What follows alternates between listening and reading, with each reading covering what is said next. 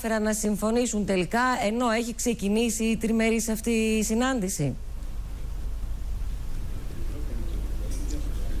Δεν ξέρω αν απευθύνει σε μένα γιατί δεν έχω καλό ήχο. Σε σένα, σε σένα Γιάννη. Δένια. Σε σένα Λοιπόν, Γιάννη απευθύνομαι. Λοιπόν, ε, είναι σε εξέλιξη αυτή την ώρα η τριμερή συνάντηση Ελλάδας, Ισπανίας και Γερμανίας.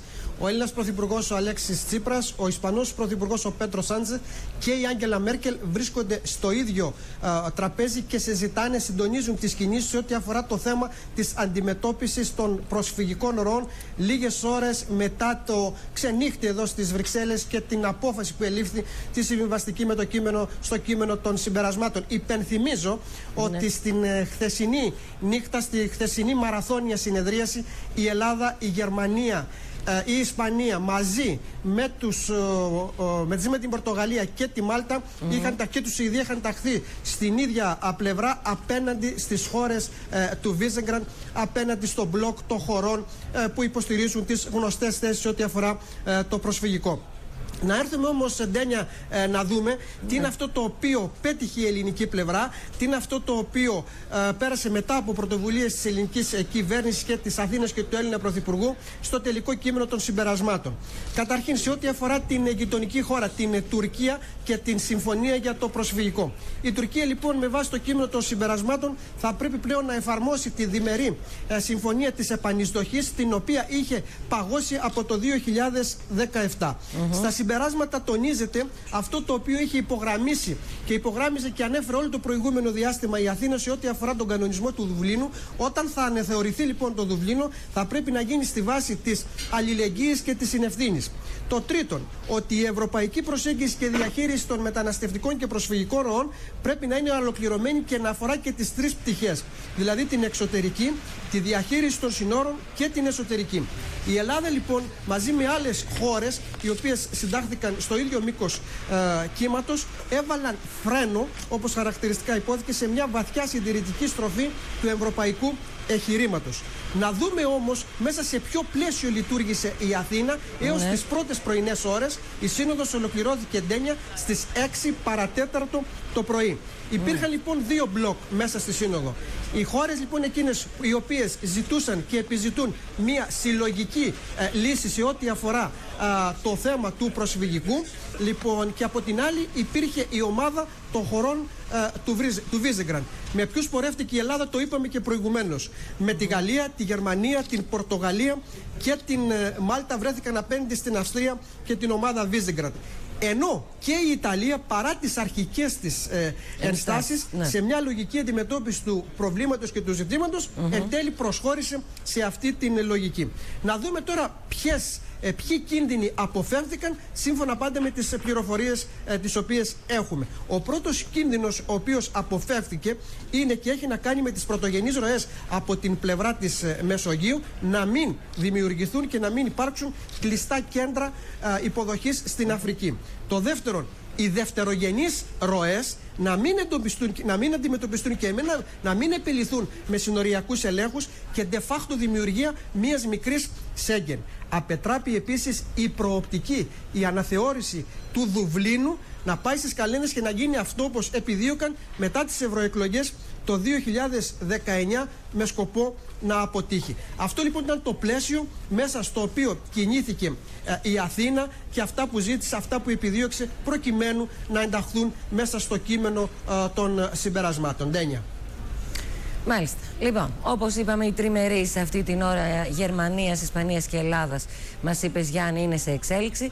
Πάμε τώρα στο Γιώργο Συριόπουλο να δούμε, Γιώργο, το γεγονός συμφώνησαν μετά από μαραθώνιες ε, ε, συζητήσεις και διαπραγματεύσεις κατάφεραν να συμφωνήσουν οι 28 πάμε να δούμε ποιες είναι οι τελικές αποφάσεις ποιες οι διαφοροποιήσεις που υπάρχουν αλλά και ποια είναι τα επόμενα βήματα σε αυτό το πολύ μεγάλο ζήτημα που αφορά το σύνολο της Ευρώπης στο μεταναστευτικό Να δώσουμε λοιπόν το περίγραμμα Ντένια. 9 ώρες συνομιλιών χρειάστηκαν οι 28 ηγέτες για να συμφωνήσουν σε μια κοινή προσέγγιση της μεταναστευτικής πολιτικής. Ασκήσεις υψηλής διπλωματίας αντέκρουσαν πολλές διχαστικές λογικές. Αναφέρθηκε σε αυτά ο Γιάννης Σοφασουλάς μετά από το βέτο του Ιταλού Πρωθυπουργού στα συμπεράσματα του πρώτου μέρους της Συνόδου. Η ελάχιστη συνένεση στο ζήτημα της μεταναστευτικής πολιτικής επιτεύχθηκε με μια συμβιβαστική συμφωνία στις 4.30 το πρωί τοπική ώρα, μετά από πολλές μικρές παύσεις για διμερείς συνομιλίες μεταξύ πολλών σχημάτων κρατών. Τα κράτη-μέλη συμφώνησαν να αυξήσουν την ασφάλεια των εξωτερικών συνόρων με ενωσιακή οικονομική και υλική στήριξη. Να ενταθούν περαιτέρω οι προσπάθειες για την αναχέτηση των παράνομων διακινητών που δρούν από τη Λιβύη ή από άλλες χώρες. Να καταβληθούν πρόσθετες προσπάθειες για να υλοποιηθεί πλήρως η δήλωση Ευρωπαϊκής Ένωσης Τουρκίας για να αποτραπούν νέες διελεύσεις από την Τουρκία και να εφαρμοστούν πλήρως και χωρίς διακρίσεις, όπως είπε και ο Γιάννης, οι διμερείς συμφωνίες επανιστοχή. Ναι. Νέα ιδέα είναι να δημιουργηθούν περιφερειακές πλατφόρμες αποβίβασης σε στενή συνεργασία με σχετικές τρίτες χώρες, καθώς και με την ύπατη αρμοστία των ΗΠΑ για τους πρόσφυγες, αλλά και τον Διεθνή Οργανισμό Μετανάστευσης. Ναι. Η ιδέα είναι να επιστρέφουν εκεί όσοι διασώζονται στη θάλασσα προκειμένου να γίνεται σε έδαφος τρίτης χώρας ο διαχωρισμός μεταναστών προσφύγων. Ναι. Παράλληλα θα ανακοπεί η διακίνηση ανθρώπων με σκάφη μη κυβερνητικών οργανώσεων στη Μεσόγειο. Ακόμη, αποφασίστηκε να δημιουργηθούν σε εθελοντική βάση σε αρκετά κράτη-μέλη ελεγχόμενα κέντρα φιλοξενίας νεοαφιχθέντων, όπου θα γίνεται και εκεί διάκριση μεταξύ παράτυπων μεταναστών και εκείνων που χρήζουν διεθνούς προστασίας, για τους οποίους θα εφαρμόζεται, όπως αναφέρεται, η αρχή της ελληνικής. Σε ό,τι αφορά το κεκτημένο του Σέγγεν, για να μην απειλείται, γίνεται ειδική μνήμα στην αντιμετώπιση, στην ανάγκη αντιμετώπισης με όλα τα αναγκαία εσωτερικά μέτρα νομοθετικού και διοικητικού χαρακτήρα οι δευτερογενείς μετακινήσεις και αναφορά με την ανάγκη συνένεσης στην αναθεώρηση του κανονισμού του Δουβλίνου που ορίστηκε ως χρονικό ορόσημο να επανεξεταστεί αυτός ο φάκελος η Σύνοδος του Οκτωβρίου. Στα οικονομικά κίνητρα τώρα συμφωνήθηκε να ενισχυθούν οι ιδιωτικές επενδύσεις σε αφρικανικές χώρες, ε, να δοθούν άμεσα 500 εκατομμύρια ευρώ στο Ταμείο Εκτάκτου Ανάγκης για την Αφρική, ενώ ταυτόχρονα θα καταβληθεί η δεύτερη δόση προς την ε, Τουρκία και στο πλαίσιο του νέου προπολογισμού της Ένωσης συμφωνήθηκε να υπάρξουν ευέλικτα μέσα ώστε να είναι δυνατή η ταχεία εκταμείευση χρημάτων σε ζητήματα που αφορούν στην καταπολέμηση της παράνομης μετανάστευσης. Να περάσω σε ένα άλλο θέμα. Η Σύνοδος αναφέρθηκε και στη Συμφωνία Αθήνας Σκοπίων, ναι. εκφράζοντας θερμή υποστήριξη στα όσα συνομολόγησαν οι δύο πλευρές και χαρακτηρίζει το γεγονός λαμπρό παράδειγμα ενίσχυσης σχέσεων καλής γειτονίας ναι. και για την υπόλοιπη περιοχή, ενώ παράλληλα επικύρωσε τις αποφάσεις του Συμβουλίου Υπουργών σχετικά με τη διεύρυνση και τη διαδικασία σταθεροποίησης. Σε ό,τι αφορά τη σημερινή μέρα, δεύτερη μέρα της Συνόδου, στο πρόγευμα συζήτηση των 27 για την πορεία του Brexit, ενώ σε λίγη ώρα συζήτηση για τη μεταρρύθμιση της ΟΝΕ.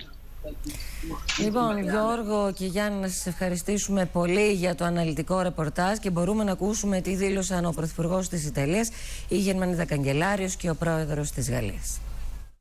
Fünf der Richtlinien mehr oder weniger vereinbart, aber zwei fehlen noch für ein gemeinsames europäisches Asylsystem. Aber ich bin optimistisch nach dem heutigen Tag, dass wir jetzt auch wirklich weiter arbeiten können, obwohl wir viel zu tun haben, die verschiedenen Sichtweisen auch zu überbrücken. Juste un mot pour dire qu'après 9 heures de discussion et de travail, un accord a été trouvé et euh, c'est pour euh, la France une bonne nouvelle. c'est euh, d'abord le fruit d'un travail conjoint et c'est la coopération européenne qui l'a emporté sur le choix d'un non-accord ou de décision nationale, qui n'aurait été ni efficace ni durable. Da questo Consiglio europeo nasce una, esce un'Europa più responsabile e più solidale. L'Italia non è più sola. Πράσινο φως στη συμφωνία.